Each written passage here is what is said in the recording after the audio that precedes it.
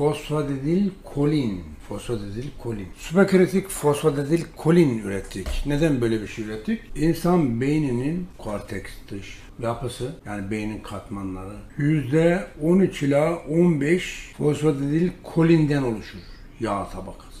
Özel bir yağ. İki yağ bir fosfattan oluşur. Fosfatidil kolin. Kolin hücre zarının yapımında insan vücudundaki birçok sinir ve beyin nörolojik sorunlarda hücre yenilenmesinde, hücre bölünmesinde, hücre çoğalmasında çok çok rol oynar. Bu da genellikle hayvansal gıdalarda bulunur. Yumurtada, karaciğerde vesaire vesaire. Fosfatidil kolin. Fosfatidil zerinin yani beyindeki bu yağ tabakasının ham maddesidir. Evet, 1862'de Steker ve ekibi tarafından Safra'daki yapmış oldukları analiz sonucunda Safra'da bulunmuştur. O nedenle kolin ismini almıştır.